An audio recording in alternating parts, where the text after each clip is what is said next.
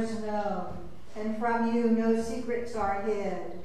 Cleanse the thoughts of our hearts by the inspiration of your Holy Spirit, that we may perfectly love you and worthily magnify your holy name through Christ our Lord. Amen.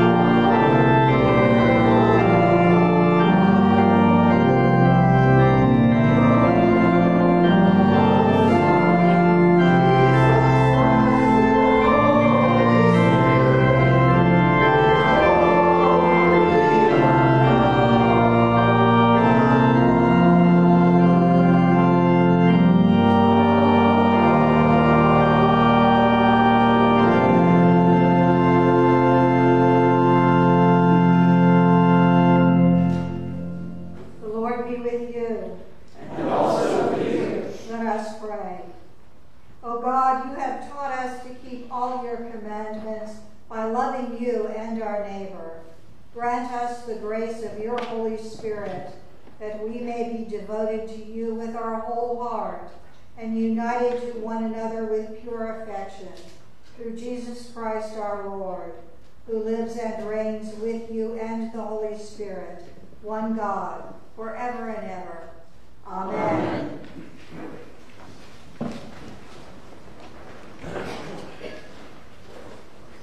A reading from the second book of Samuel. All the tribes of Israel came to David at Hebron and said, Look, we are your bone and flesh. For some time, while Saul was king over us, it was you who led out Israel and brought it in. The Lord said to you, It is you who shall, who shall be shepherd of my people Israel, you who shall be ruler over Israel. So all the elders of Israel came to the king in Hebron, and King David made a covenant with them at Hebron before the Lord, and they anointed king, they anointed David king over Israel. David was 30 years old when he began to reign, and he reigned 40 years. At Hebron he reigned over Judah seven years and six months. And at Jerusalem he reigned over all Israel and Judah 33 years. David occupied the stronghold and named it the City of David. David built the city all around from the Millo inward. And David became greater and greater, for the Lord, the God of hosts, was with him. The word of the Lord. Thanks be God. The psalm appointed for this morning is Psalm 48, found on page 651 of the Book of Common Prayer. Let us read responsibly by full verse. Great is the Lord, and highly to be praised. In the city of our God is his holy hill. Beautiful and lofty, the joy of all the earth is the hill of Zion, the very center of the world, and the city of the great King. God is in her citadels. He is known to be her sure refuge.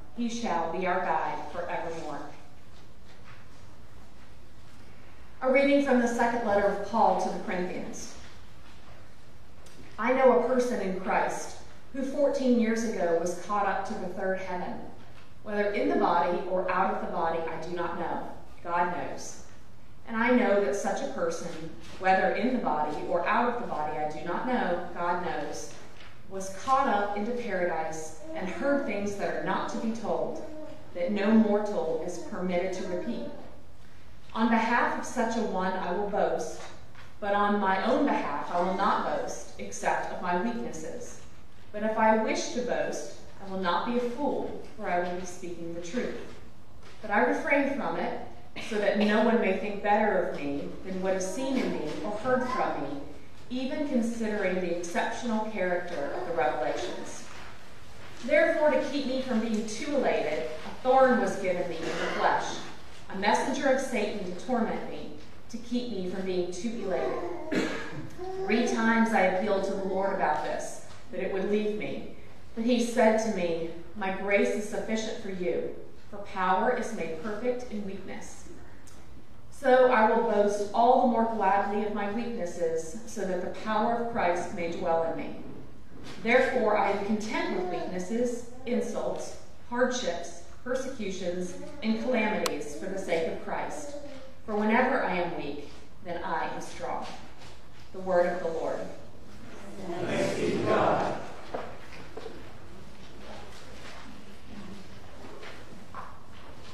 The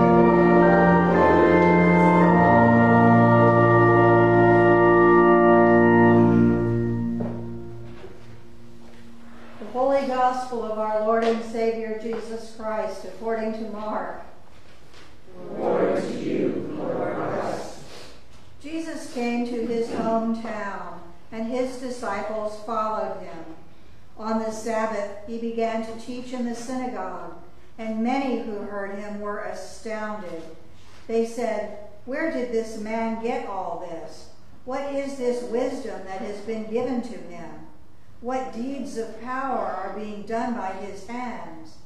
Is not this the carpenter, the son of Mary, and brother of James and Joseph, and Judas and Simon? And are not his sisters here with us? And they took offense at him. Then Jesus said to them, Prophets are not without honor except in their hometown, and among their own kin, and in their own house.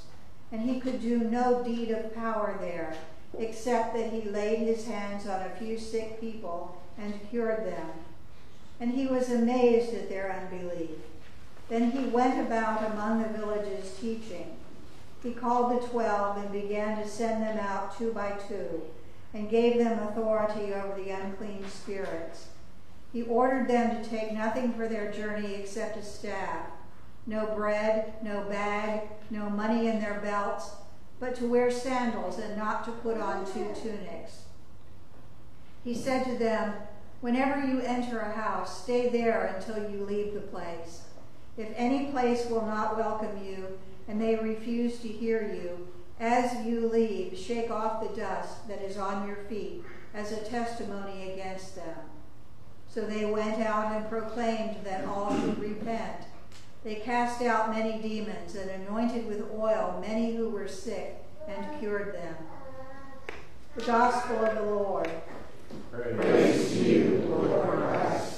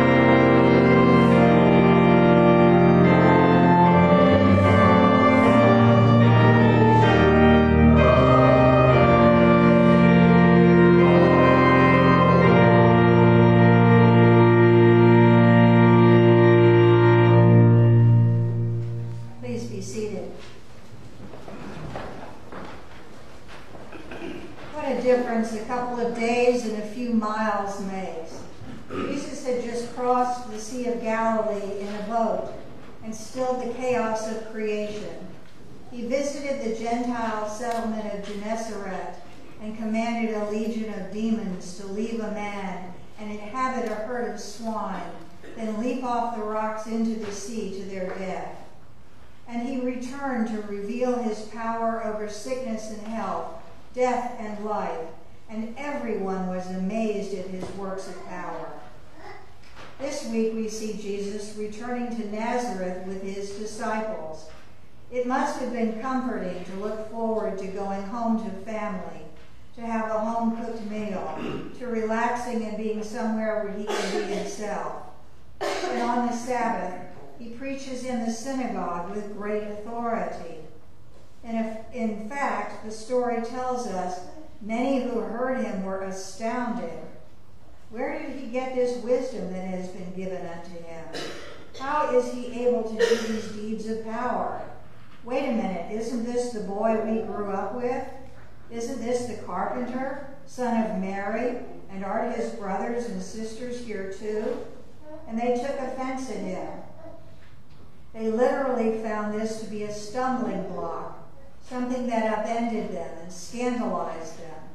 How could anything good come out of Nazareth, as the saying goes?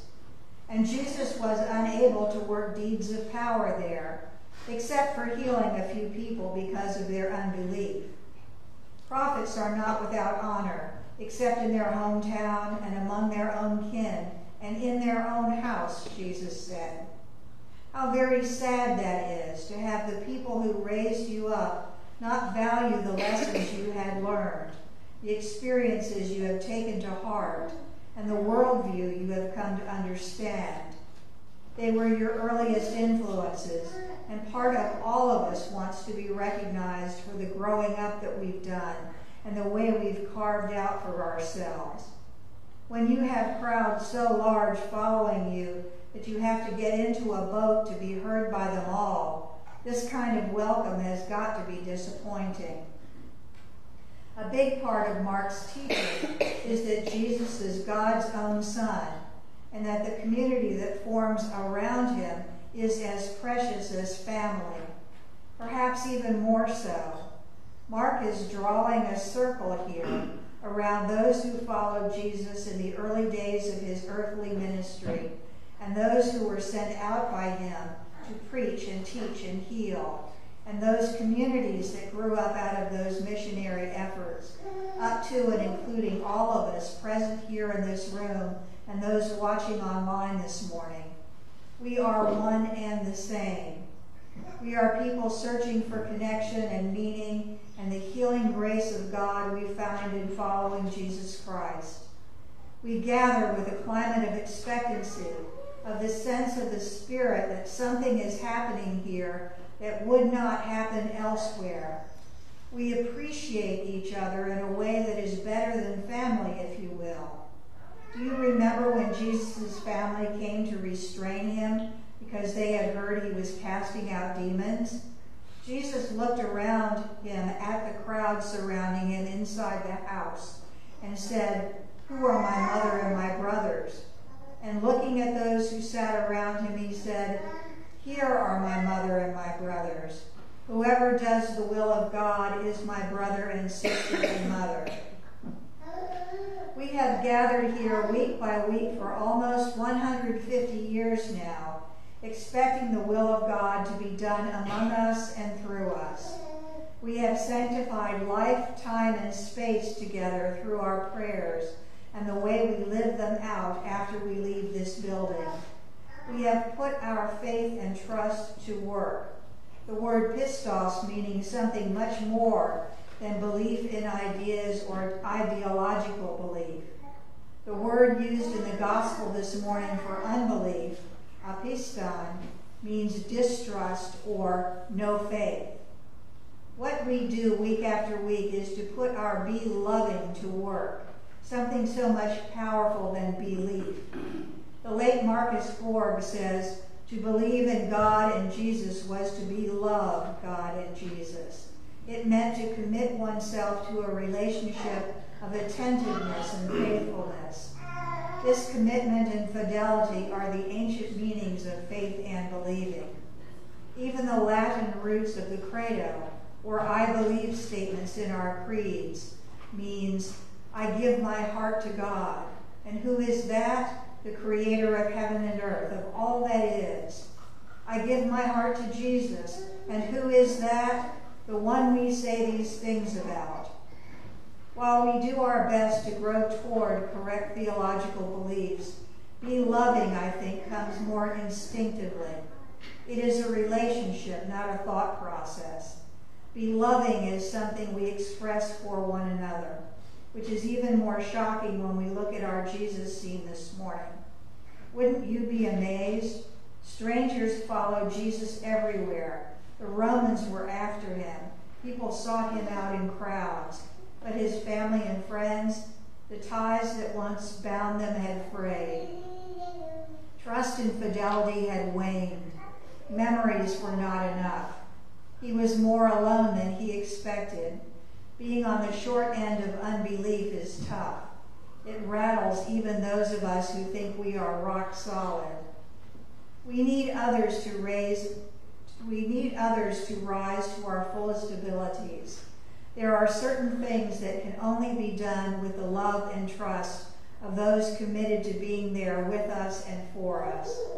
Faith and trust are necessary for wisdom, to heal what is wounded, to cast out injustice, and to care for all those in need. It, it is what we seek here amid the distrust and unfaith of the world. We seek a believing, a beloving community where miracles can and will happen. Amen.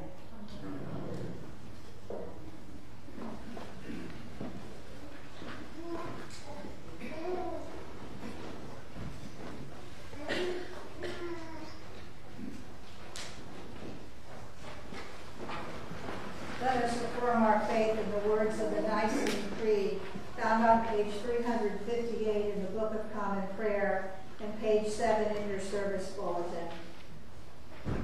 We believe in one God,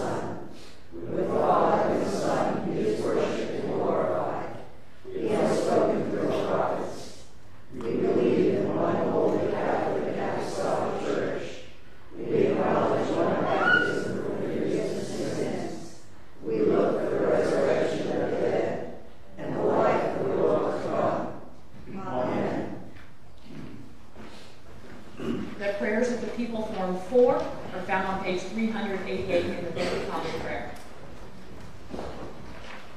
Let us pray for the church and for the world. Grant, Almighty God, that all who confess your name may be united in your truth, live together in your love, and reveal your glory in the world. We pray for all bishops, priests, and deacons, especially our bishops, Sam and Jennifer. Lord, in your mercy,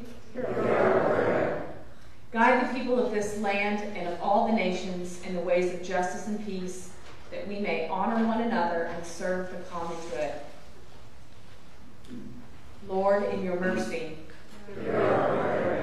give us all a reverence for the earth as your own creation, that we may use its resources rightly in the service of others and to your honor and glory. Lord, in your mercy, Bless all whose lives are closely linked with ours, and grant that we may serve Christ in them and love one another as he loves us. Lord, in your mercy, comfort and heal all those who suffer in body, mind, or spirit. Give them courage and hope in their troubles, and bring them the joy of your salvation. We pray especially for Tim, Sue, Lulu, Robert, Bonnie, Glenda, Carrie, Adina, Jennifer, Keith Ann, Sarah, and Chuck. Lord, in your mercy, we commend to your mercy all who have died, remembering this day Quincy, Joshua, Francis, and Roy, that your will for them may be fulfilled, and we pray that we may share with all your saints in your eternal kingdom. Lord, in your mercy,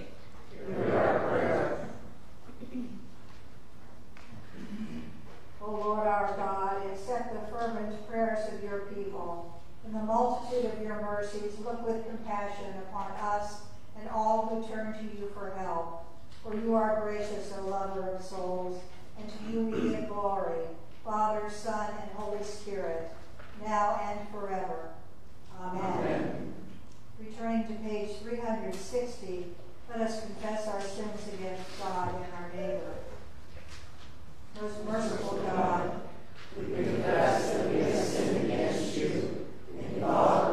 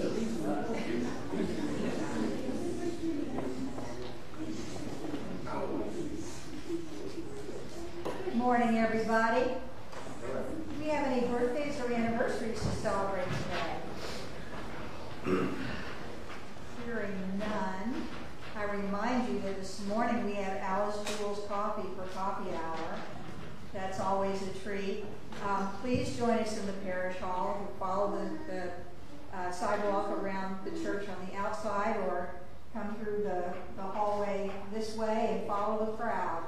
Um, we always have some, some wonderful treats for coffee hour, and, and uh, hope you join us so we can get to know you better. Um, the men's group is meeting this coming Saturday at 8.30 at Gus's Family's Restaurant. Um, all the men in the church are invited and encouraged to attend, and a good time will be had by all. Um, are there any other announcements this morning? Ascribe to the Lord the honor due his name, bring offerings and come into his courts with praise.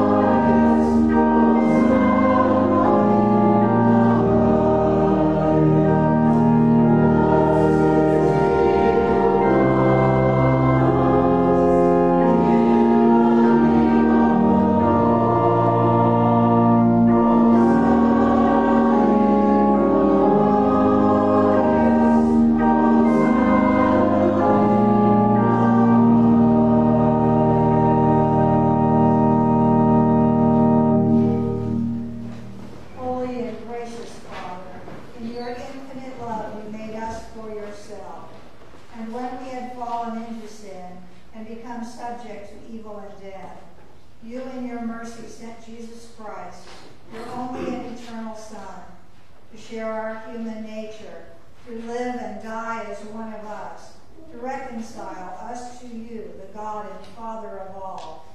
He stretched out his arms upon the cross and offered himself in obedience to your will, a perfect sacrifice for the whole world. On the night he was handed over to suffering and death, our Lord Jesus Christ took bread, and when he had given thanks to you, he broke it and gave it to his disciples and said, Take, eat. This is my body which is given for you. Do this for the remembrance of me.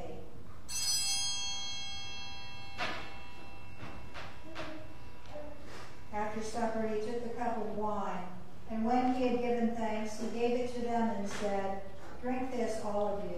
This is my blood of the new covenant, which is shed for you and for many for the forgiveness of sins. Whenever you drink it, do this for the remembrance of me.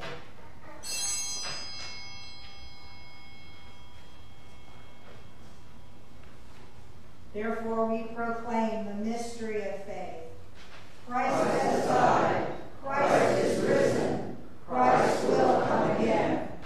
We celebrate the memorial of our redemption, O Father, in this sacrifice of praise and thanksgiving. Recalling his death, resurrection, and ascension, we offer you these gifts.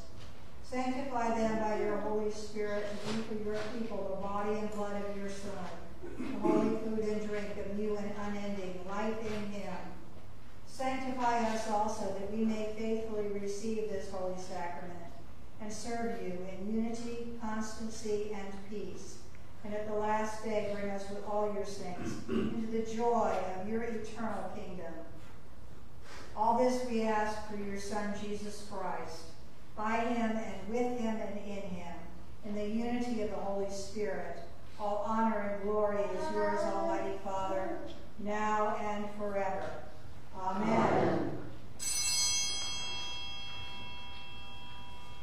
And now, as our Savior Christ has taught us, we are bold to pray. Our Father, who art in heaven,